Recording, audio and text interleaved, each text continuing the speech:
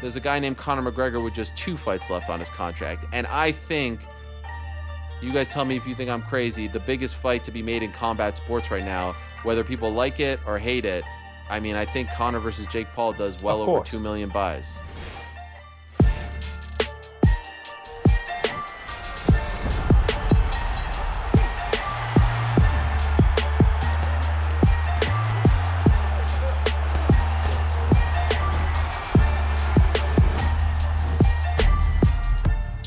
Happy Friday. It's DAZN Boxing Show. I go by the name of Ak. And I'm Barack the Boxing Bully.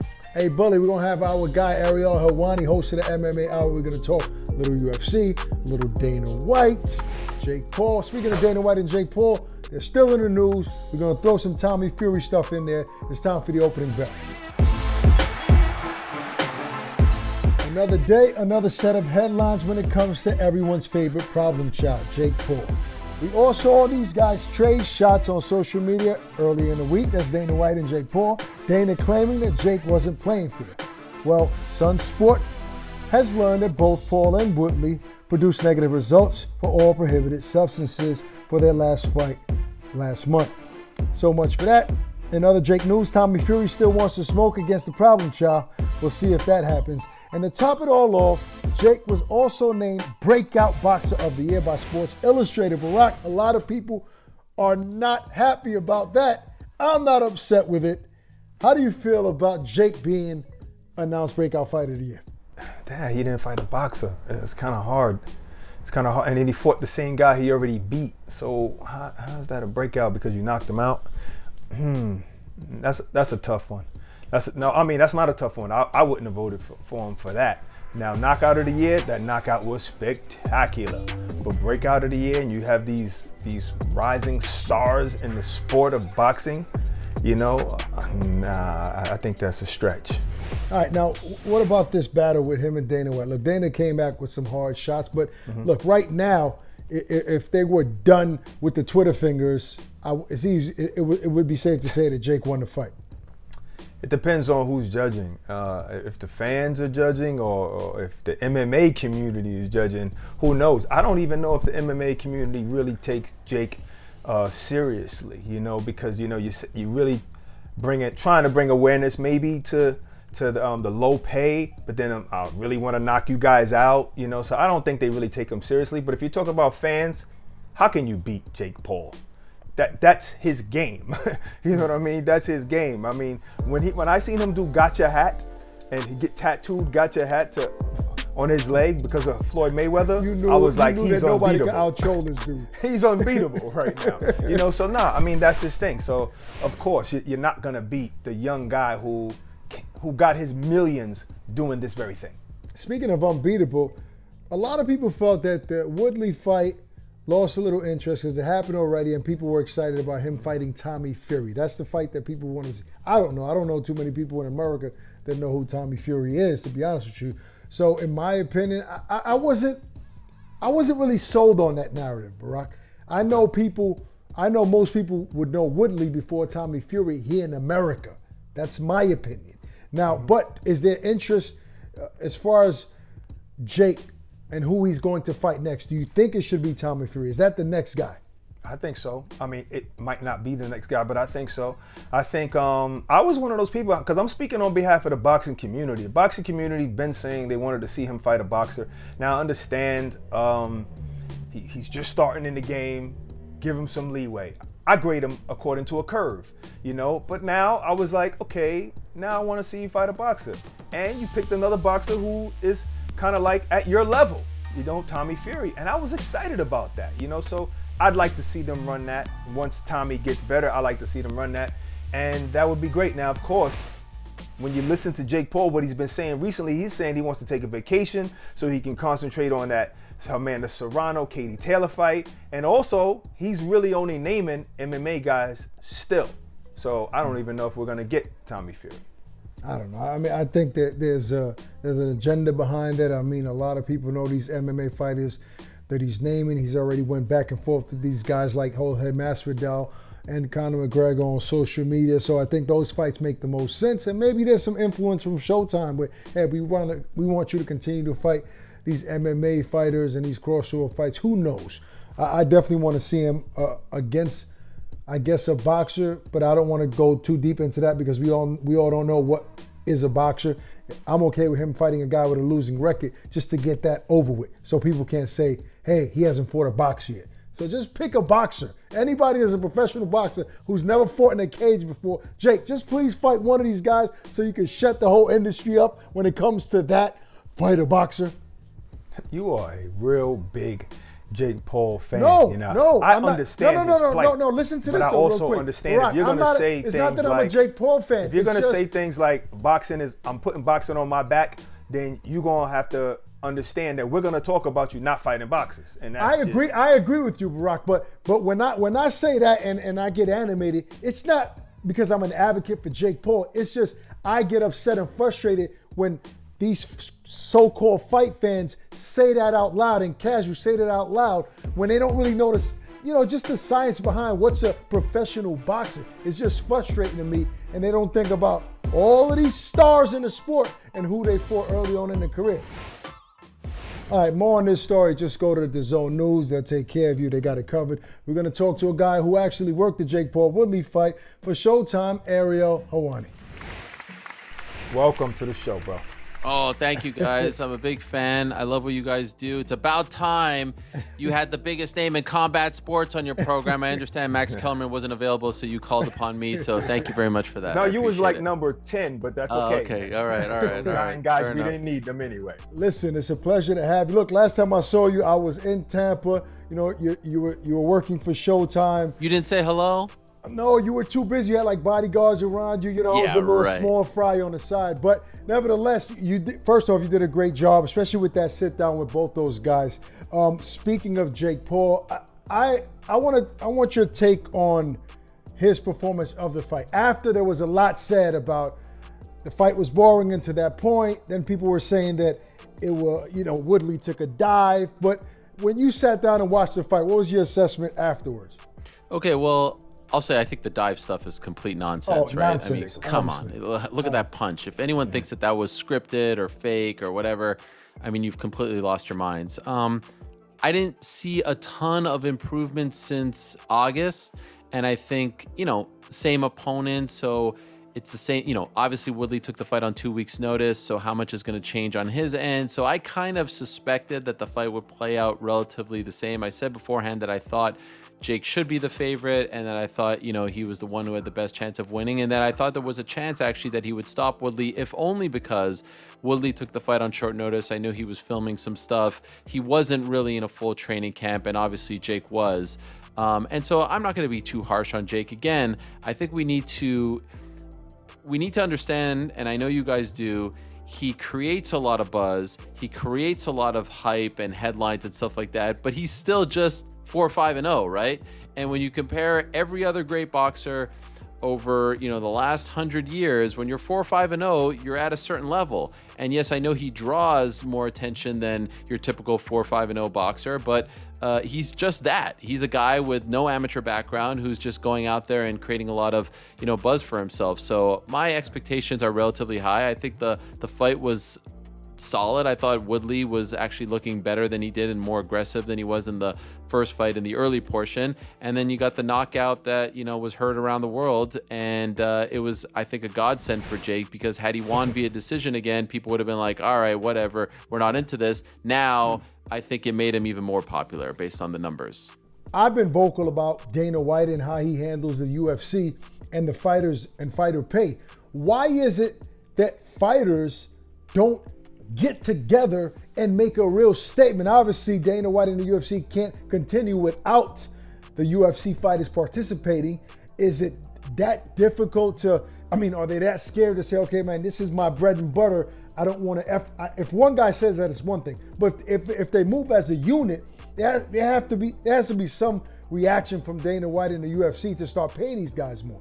Well, it's a fantastic point, and it's a point that we in the MMA media have brought up over the years. It's like, hey, we feel like we're talking about this stuff more than you guys are. Now, it's easier for us to talk about it because we don't work for the UFC, right? So there are no repercussions really there. Um, I can understand why someone who is under contract with UFC wouldn't be as vocal or willing to speak about it. I can assure you, every UFC fighter is reading what Jake Paul is saying about fighter pay, and everyone agrees with him. They just can't really talk about it. And so what happens is you basically have like four tiers of UFC fighter, right? You have the ones who are just coming in to the UFC and they're making 12 and 12, and they're definitely not going to rock the boat, right? I mean, those guys are just happy to be there. They just got signed. Then you got the guys who have graduated from that point and they're like, oh, I'm about to become a contender, so I don't want to rock the boat now because I just had to scratch and claw my way. Then you got the guys who are the contenders who are like, oh my gosh, like it's about to come, right? It's about to come. I'm not going to rock the boat. And then you have the top 1% who have made it and are so far removed from everyone else. They're like, look, I just had to bust my for 10 years. I'm definitely not going to rock the boat. And so at the end of the day, wow. the only time you ever get anyone quote unquote rocking the boat is when they're truly upset with the UFC. And then what happens is they get a deal,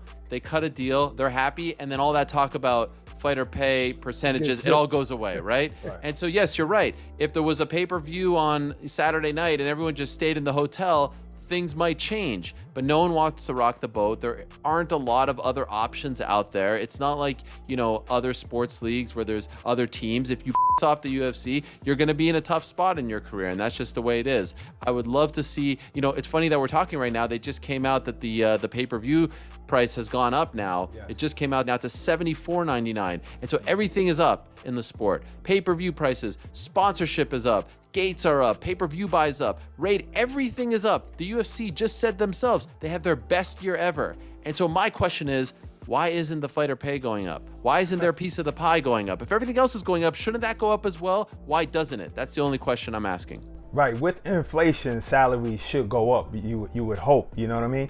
But uh, listen, if everybody's aware of what Dana, uh, rather what what Jake Paul is saying about you know going back and forth with Dana White, then do they really take him seriously with his wager? Do they really think he's really gonna do something like that? The fighters or the UFC? I'm talking about the the fighters of the UFC. Do they th- take him seriously? For the most part, I mean, it's obviously hard to speak on behalf of 500 people, but mm-hmm. for the most part, they they they are definitely hearing and reading what he's saying. Mm-hmm. They're all in agreement. I'd say a lot of them question his motives. They are wondering, right. do you really want to, you know, bring change? Are you really passionate about this? Or do you know that this is the hot button issue that is going to off Dana White, who's your latest foil, right? Because make no mistake about it, what Jake Paul and his team have done over the past year, which has basically been like, let's go after the world of MMA right over here, it's been a great storyline for them. It's been a great gimmick. It has been very profitable. And at the top of that mountain is someone like Dana White. Like, it's amazing to me. Jake Paul's a boxer. He's fighting MMA fighters in the world of boxing. Mm-hmm. He has shown no real interest of going to MMA, and yet he is an MMA story. Like, I look at boxing media, very yeah. few. And let me add to that. He hasn't fought a boxer, and he's the one of the biggest boxing stories. You know, which yeah, but that, that, doesn't necessarily mean that he's not genuine in his approach. I mean, it no, I'm not saying story. that. I'm not saying no, that. I'm saying the fighters question that. it. The fighters question it. Right, I, I question it too because look, okay, he's saying I'm going to quit boxing. Okay, but didn't you just sign a Showtime deal? Well, what the Showtime deal's what? up. It's up. Do you think he would actually quit boxing when he has this potential to make all of this money? No, of course not. I mean, this That's is part I'm of the tit for tat. This is part yeah. of the tit for tat, right? I think that, you know, Dana called him out, he's calling him out, and then he's responding back and forth. The thing that Dana needs to realize, with all due respect, Dana's 52. Jake, I think, is 24. Jake lives on the internet. Jake can play this game all day. He's got a, a team of kids who look look at Dana's video and look at Jake's video. It's all yeah, like yeah. edited and all that stuff. Like th- this is his wheelhouse, man. It's not you're, you're, like you're not gonna win this battle with him. If I were Dana, I would just ignore the guy and just let him be. Honestly, if it wasn't for maybe the people around Jake, you know, Jake's manager used to work for the UFC as as the CFO. He wasn't the accountant of the UFC. He was the CFO. He was part of the the group that you know helped sell the UFC uh, for 4.025 billion to Endeavor. Nakisa Bidarian, very smart guy. If he wasn't involved, I actually wouldn't be surprised if Dana would try to co-promote with Jake because Dana loves people like Jake. But I think it's a little too personal with the people that Jake has involved. Yeah. Now, now speaking of, of Jake Paul and Showtime, what are the actual pay-per-view numbers for the Woodley Jake Paul fight, the second one? Honestly, and I, like, who the hell am I? I I don't know. Um, I saw the reports. I don't think that the actual number that's been reported is accurate. I wouldn't be surprised if it was less than the Woodley fight, if only, and that was my prediction.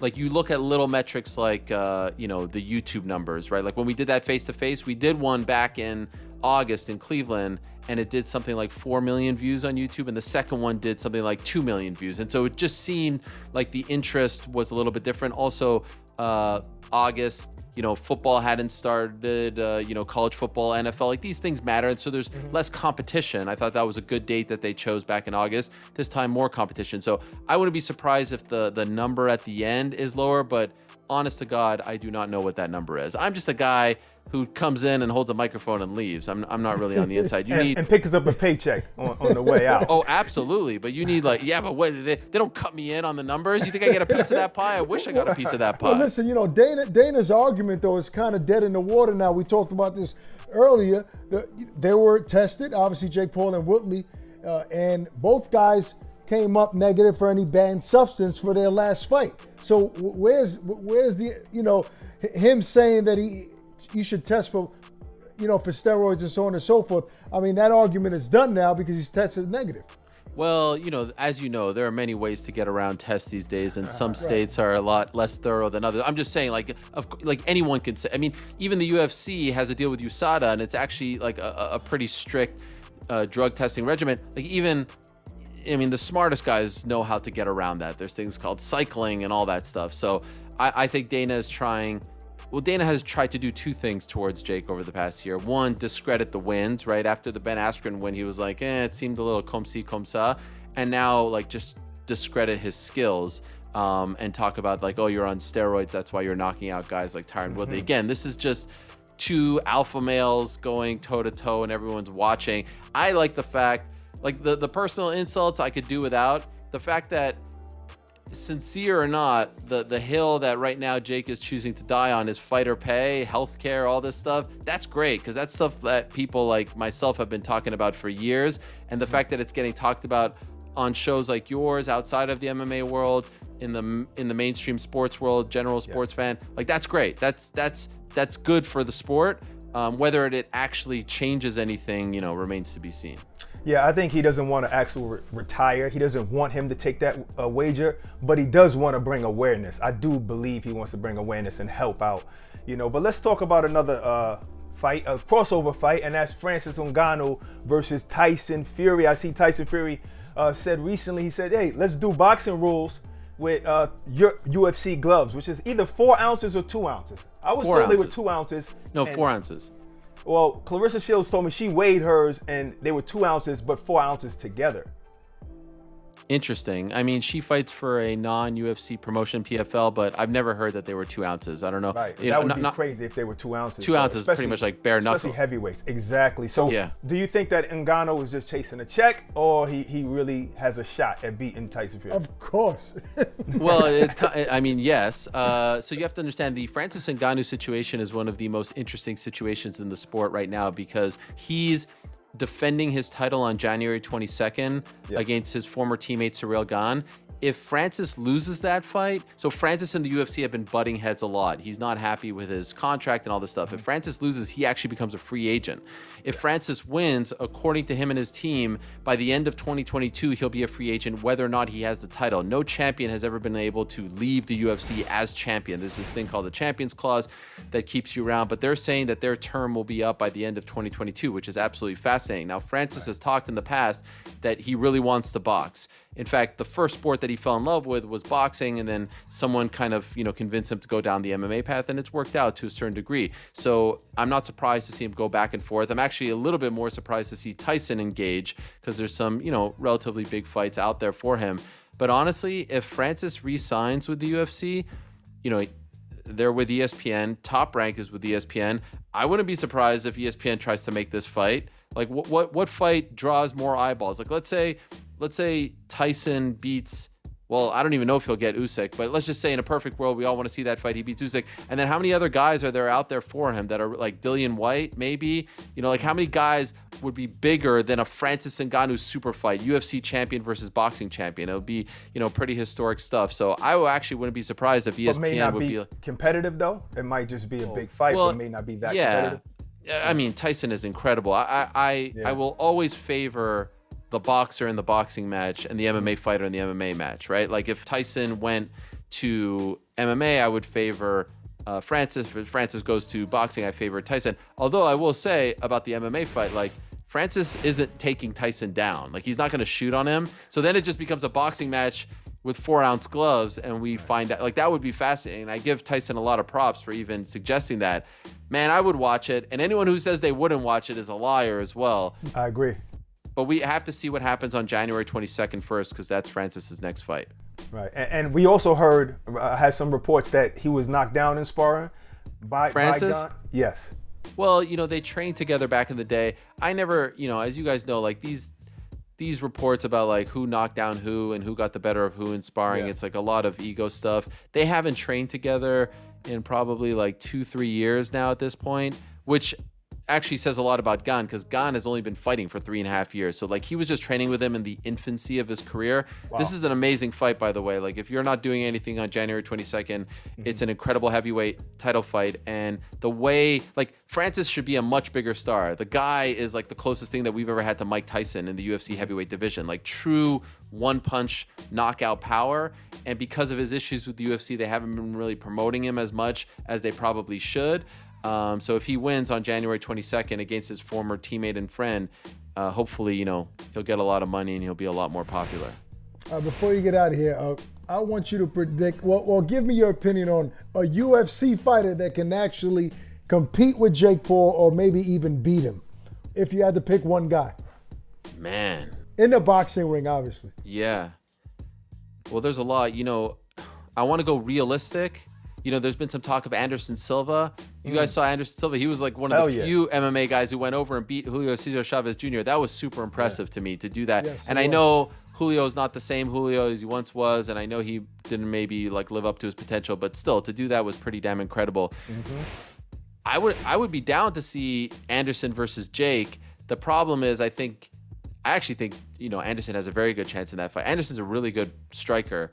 Um, I don't think people would give Jake his due if he beat Anderson because he's 45, I believe, off the top of my head. So I think people want to see someone younger.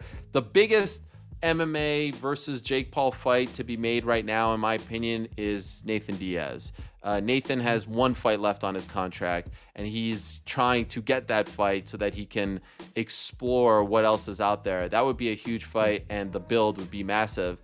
And oh, by the way, there's a guy named Conor McGregor with just two fights left on his contract. And I think, you guys tell me if you think I'm crazy, the biggest fight to be made in combat sports right now, whether people like it or hate it, I mean, I think Conor versus Jake Paul does well over 2 million buys. Uh, of course. And, absolutely. and Conor might be about 190 pounds right about now. Yeah, that's the thing. Conor, uh, to your point, is like a 155 and has fought at 170. Jake is much bigger than him, but according to his Instagram and his pictures, the guy's looking swole. So maybe it won't be as big of a, uh, maybe a height advantage, but not so much a size advantage. Right. Now, I'll be tuned into that one if it ever happens. Listen, Ariel, it's been a pleasure chopping it up with you. Thanks for taking the time. We'll talk soon. Yeah, my pleasure, guys, and I can't wait. I hope we get to see Katie Taylor, Amanda Serrano. I'm assuming that will be on DAZN. That to me is my fight to see in 2022. If I have one wish for boxing, I want to see Katie Taylor, Amanda Serrano, Madison Square Garden, Puerto Rico versus Ireland, the biggest fight in women's boxing history. Sign me up. I'll be there in the front row. I count. I think that would be an incredible thing for women's boxing and for the sport in general. So I hope that we get to see it. And if it's on the zone, that would be great. Yes, it's going to sir. happen for sure. Take it easy. Ariel. Thanks, Helwani. guys. All right, brother. Take care. Before we get out of here, uh, two major fights seem to be off. First, Callum Johnson is reportedly out of his scheduled WBO title fight with Joe Smith Jr.